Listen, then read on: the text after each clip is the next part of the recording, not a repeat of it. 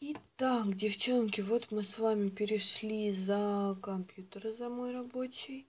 И я вам сейчас покажу две программы, а, в которых можно обрабатывать свои фотографии. А, Первая, эм, господи, первая программа это Lightroom 5 у меня. Для того, чтобы загрузить фотографии, ну, как скачивать я не буду вам рассказывать, заходите лучше на Руторг и качайте оттуда. Я вам буду уже показывать непосредственно саму работу внутри. Ну, и то не всю тоже, девчонки, потому что, ну, уроков много там на самом деле. Значит, самое главное для нас, мы уже определились, э, во влоге я рассказывала, кто не видел, я оставлю ссылочку вверху на влог и внизу в описании. Самое главное для нас это свет должен быть дневным. Так, я захожу на рабочий стол. Вот, э, то есть вы видите, да, диск C, тра-та-та. О, нет, не в общий. Сюда, рабочий стол. Среди здесь, среди фотографий я выбираю фото в работе. Это те, которые у меня. И вот мы видим наши три снимка, которые я буду делать на превью. Ой. Я с ним сбрасываю все галочки, мне так проще сейчас будет. И нажимаю кнопку импорт. Все импортируется в программу. Э, Опять же, принципы работы все, я думаю, что вы сможете найти, ну, точнее, суть работы, вы сможете найти в уроках, которые специально есть, э, можете их посмотреть. Что мне нравится здесь в Lightroom? Первое, это то, что если мы нажимаем вот так, зажимаем кнопочку Shift и нажимаем на последнюю фотографию, у нас выбираются все фотографии, мы автоматически э, выбираем баланс белого. Вот у нас здесь баланс белого. И он автоматически корректирует сразу же все фотографии. После этого мы можем переходить непосредственно к коррекции. То есть сейчас мы находимся во вкладке библиотека и нажимаем на вкладку коррекции. Итак, мы видим наши три фотографии вот здесь внизу. Мы их можем перещелкивать. Э, Это фото сделаны при дневном свете зимой в там, по-моему, 3 или 4 часа дня. То есть тогда, когда уже было темновато, я бы сказала. Здесь вот, как видите, вот у меня цветочки, они э, дают такую некрасивую тень. Поэтому я выберу вот эту фотографию для дальнейшей обработки. Ну, пока ладно. Ну, опять же, увеличить, уменьшить мы можем. Значит, в чем плюс Lightroom? В Lightroom есть такая функция, как пресет. Ну, во-первых, мы можем корректировать здесь всякие... Давайте я... Нет, на этой все-таки будем тренироваться. Мы можем задавать температуру, которая нам нужна. Конечно же, здесь нужно играть со всеми фотографиями, в отдельности в нашем случае. Оттенок вот такой я выберу. Экспозиция это осветление. Обязательно его добавляю немножко. Контраст нужен нам. Ну, можно чуть-чуть поярче. Или убрать яркость, потому что... Ну, давайте вот так. Плюс у нас есть здесь еще функции света, тени. В общем, на самом деле здесь надо вот по вот этим просто галочкам вам брать фотографию и э, смотреть, потому что что-то можно, а, бывает так, убираете полностью или добавляете в плюс 100, и у вас получается очень классная а, фотка. То есть надо смотреть.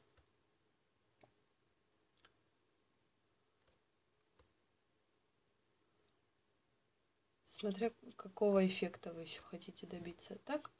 И второй вариант это пресеты. Вот здесь находятся пресеты, скачать их можно в интернете, там группы ВКонтакте есть, где можно их качать. Так и нажимаете, набираете в поисковике в Google пресеты Lightroom, и вам выдаются пресеты э, всевозможные, которые будут э, ну, показывать, какие эффекты э, вы можете сделать со своей фотографией.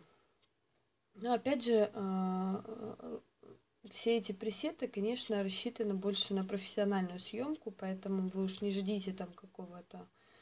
Вот смотрите, я нажала на пресет, да, а, вот я выбрала Golden, а, Golden H R Basic Ultra Sharp, Sharp. И вот здесь у меня все меняется, меняются все параметры. То есть выставляются те параметры, которые заданы самим пресетом. А, переходим. Давайте, вот у меня есть классные очень зимние пресеты, мне очень нравились, и я много фотографий зимних обрабатывала именно с этими пресетами. Сейчас я вам покажу, тут вот такой вот, допустим. То есть видите, да, как изменилась фотография, она такая стала, как немножко винтажная. А сейчас с другой стороны тоже есть очень здесь классные. То есть вот здесь у нас э, высвечивается, э, мы просто наводим э, курсор на пресет, мышку, и нам показывается, какие варианты у нас есть. Их нереальное множество. Ну, смотрите, раз. И у нас вот такой он более в голубой ушел. И опять же здесь все это поменялось. Дальше как это сохранить? А, вы выходите обратно в библиотеку. Вот видите, то есть мы эти две не обрабатывали, они так и остались. И потом нажимаете вкладку «Экспорт». Ну и, собственно говоря, выбираете здесь а, папку, куда вы это все хотите экспортировать, либо сразу же делаете. Вот я убрала вот эту, здесь была галочка по умолчанию поместить в подпапку безымянный экспорт это в каждой папке будет создаваться вот эта вот папка безымянный экспорт. Короче, целое дело. Мне так неудобно, э, поэтому я э, сохраняю вот так. Э, так. Я сделаю сейчас все вот эти свои действия, я отменю. Вниз, опять же, как отменить? Мы переходим вот сюда этим курсором вниз и смотрите, здесь есть сессии, ну, в моем случае их нет, и история. И если мы нажимаем на каждый, то есть каждый параметр, который мы меняли, он здесь в истории сохраняется. Я выберу, наверное, вот, этот, вот эту картинку, мне она нравится. Так, я буду работать только с этой фотографией, поэтому я сохраню только ее. Так, экспорт.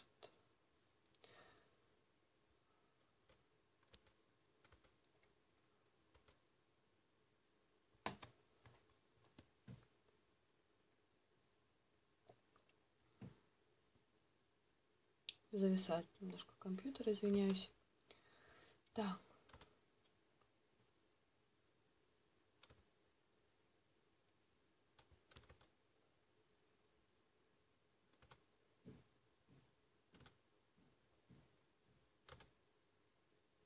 То есть оно мне заменит, вот здесь вот э, видна строчечка. Все, вот видите, оно завершено. И заменит имя файла. Сейчас я вам покажу. Так, мы выходим, пропускаем.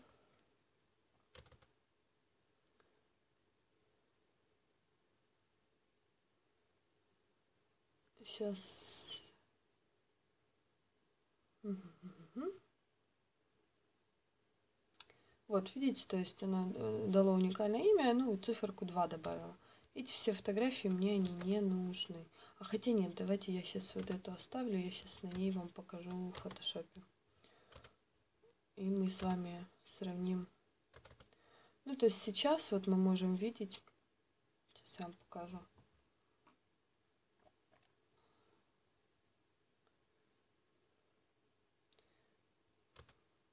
Вот у нас фотография до, вот фотография после обработки. До, после, до, после. То есть цвета более насыщенные, яркие, при этом они э, абсолютно соответствуют реальным цветам, которые действительно есть в жизни. Здесь они просто вот как в тумане, э, более туманные. Здесь они вот поярче получились. Так, теперь мы переходим в Photoshop. Photoshop тоже качаем э, лучше с Реторга. И, ну, я долго на самом деле искала варианты так, чтобы это было, как это сказать, лицензировано. Ну, короче, сразу крякнуто, грубо говоря, это называется кряк. А, нажимаем, ну, то есть переносим сюда файл, копируем, и вот он у нас открывается. Для того, чтобы он у нас был в полном экране, мы его нажимаем вот на такую лупу, не перепутайте с вот этой, вот на такую, и нажимаем кнопочку «Подогнать». Дальше, что мы можем делать в фотошопе? В фотошопе я на самом деле люблю работать больше, а, а, ну как-то мне привычней, скажем так. У нас здесь есть э, вкладка изображения, коррекция, и мы можем э, через нее работать. Либо зажимать определенные комбинации клавиш, то есть если мы нажимаем Ctrl-Alt-L, а, вот у нас предыдущие, которые я настройки делала. У меня они применились к этой фотографии. Ctrl-L. Английская. Так. Здесь мы можем настраивать опять же свет. А, здесь опять же мы можем настраивать экспозицию так, как нам нравится. И самое главное, и мое самое любимое, а сейчас я вам покажу еще кривые. Ну, собственно говоря, кривые тоже э, есть определенный идеальный вариант кривой. Это вот такая дуга, когда получается, то есть у нас э, левая нижняя уходит вниз, она отвечает за тени, а правая верхняя уходит вверх, она отвечает за свет. И таким образом вы добавляете контрастности. Еще очень классная функция здесь есть. Она тоже не всегда нужна, но в некоторых э, моментах она спасает. Э, заходим в изображение, в коррекцию, в вибрации. И вот это вот э, добавляем вибрацию. И она дает очень классные насыщенные цвета. Вот если нам они нужны для фотографии в некоторых случаях они нужны. Вот видите, так они получаются как припыленные, если мы в минус уходим. Ну, а в плюс, соответственно, они становятся ярче. А, любимая моя, моя функция здесь это кисть и то, что я могу здесь оставлять свой штампик. Может быть, это можно делать и в Lightroom, я честно говорю, я не знаю, потому что Lightroom я пользуюсь исключительно для пресетов, когда они мне нужны. А вот в Photoshop я обрабатываю основную свою а, основное свое количество фотографий всех. Так, сейчас мы тут удалим. Ну и, допустим, ой, да что ж такое? Опять я белым поставила. Вот. Сейчас покажу вам, как сделать вот такой вот штампик вашими. Но все-таки, когда работа подписана, она смотрится лучше смотрится, в общем и лучше смотрится, и проще вас найти в интернете даже. Вот Creative Alice набираете, и, собственно говоря, высветится по-любому что-то, но э, по моему имени высветится. Тем более, что креатив у меня специально, э, я для себя заведомо так сделала, то есть знаю, что так, так вообще не пишется. Креатив у меня без буквы Е в конце а, я это делала осознанно. Так, мы заходим в файл «Создать». Сейчас я вам покажу, как создать такой штампик. Ну и дальше нам нужна вкладка текст. Не вкладка, а параметр.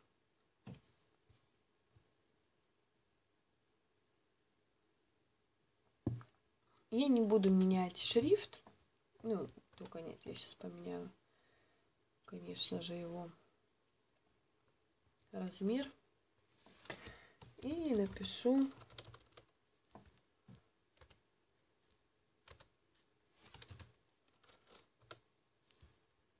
Нет, я не хочу такой, я хочу красивый. Что а, у меня русские буквы, я думаю, что такое?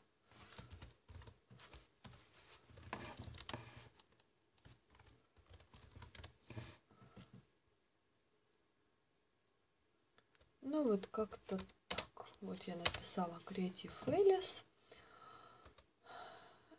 И добавлю тоже перышко. Но добавлю. Работаем мы только на фоне. Вообще э, очень классно уметь, конечно, работать в фотошопе полноценно. И вам это всегда пригодится. Ну, допустим, вот так. Вот, Creative Alice. И дальше я захожу в редактирование. Здесь у нас есть такая функция определить кисть. И я пишу здесь Creative Alice 3. Окей. И сохраняю. Смотрим теперь дальше, что у нас получается. То есть, когда я захочу сделать вот такой оттиск, мне надо будет зайти вот сюда, в самый низ, опуститься. То есть, ну, оно по умолчанию в последние добавляется. Все, собственно говоря, мы в кисть зашли. Вот параметр кисть. Заходим сюда. Если мы наверху на самом, то опускаемся в самый низ. И вот находим нашу кисть. Раз. И наш штампик готов. Вот такой вот штампик. А вообще, девчонки, эта тема огромная, обширная. Э, я, честно говоря, не знаю, что вам еще показать. Ну, такого вот прям, что, что вам надо.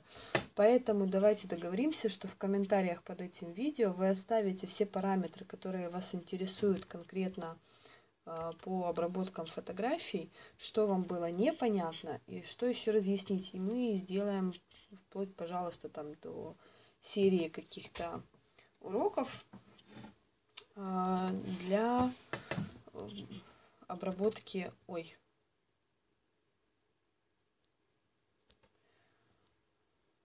для обработки фото наших работ. Я случайно зашла в интернет. Я тут хата на тата смотрю, как видите. Э, очень они меня веселят. Хотела еще, давайте я вам покажу, кстати. Есть, э, э, хочу показать вам разницу. Вот даже если брать для по альбомам, ну и давайте вот эту. Итак, вот этот альбом фотографировала я при дневном свете на балконе летом. То есть, ну, в теплое время года. А вот этот альбом я фотографировала вечером на столе под кучей освещения, а, потому что, ну, мне надо было его, я его вечером сдавала. Ой, нет, вечером я его закончила, а утром мне его нужно было уже отдать. И у меня просто не было выбора. Вот это вам пример э, искусственного неправильного освещения. Если у вас дома нет правильного освещения, как и у меня, в принципе, то есть софтбоксы, лайтбоксы э, и так далее. Лайтбокс я, кстати, делала когда-то себе лайтбоксы, но мне не очень комфортно в них фотографировать. Хотя, если сделать огромный, кто не знает, что такое лайтбокс, это э, ящик, который внутри полностью белый, и э, вы когда, на, ну, по идее, он должен подсвечиваться. А, но вы, когда направляете туда вниз свет, белый, естественно, то есть, получается, белая ткань отражает все, и получается, как будто при дневном свете сделанные фотографии. Ну, в общем, прикольная штука тоже, посмотрите в интернете, я так, может быть, я не профессиональным языком объясняю, ну, так, чтобы было понятно. Вот. В общем-то, качество и разницу вы видите, и тут дело абсолютно не в цвете э, альбома там или в насыщенности цветов. Это конкретная проблема освещенности. По идее, вот такие фотографии, на мой взгляд, вообще не имеют права на существование, но мне очень хотелось его показать. Такой симпатичный альбомчик получился. Но, скорее всего, в ближайшем будущем я вот буду делать еще альбомы, и я, наверное, удалю этот, потому что мне не нравятся эти фотографии, они, ну, не могут быть. Вот. Работать мы должны только а, выставлять, по идее, только вот такие вот такого качества фотографии. Э, здесь никаких супер дополнительных обработок. Вот поверьте мне, если вы правильно выставите свет, а, ну, конечно же, в летний период времени, в теплое, в теплое время года делать это намного проще, когда солнышко, свет, когда ярко, когда можно это сделать э, на том же балконе при дневном свете, либо где-то на улице. Это вообще прекрасно. Э, то, конечно, это проще зимой, да, есть определенная вот такая сложность. Но фотографии, поверьте мне, вам очень мало придется обрабатывать э, фото, то, которое сделано при дневном освещении. Э, там минимально надо будет количество обработки. Там уже будет проблема в составлении композиции, скажем так. Это то, что я сейчас тоже этот вопрос изучаю. Э, очень хочется научиться фотографировать красиво эм, в плане композиции. И вот я сейчас тоже учусь. Учиться никогда не поздно, учитесь. Я надеюсь, для вас это видео было полезным. Ставьте пальчики вверх, подписывайтесь на мой канал. Я очень жду ваших комментариев внизу на тему, насколько э, вам это было полезно и что еще вам э, нужно рассказать, что вам непонятно из этого видео, либо что еще дополнить. И уже будем от этого, я постараюсь э, максимально быстро выполнять ваши запросы, то есть если поступят в ближайшие дни э, комментарии, там максимум в течение недели будет выходить э, новое видео на эту тему. Все, всем пока-пока, всем удачи, вы у меня самые лучшие, я вас люблю, целую, адьос!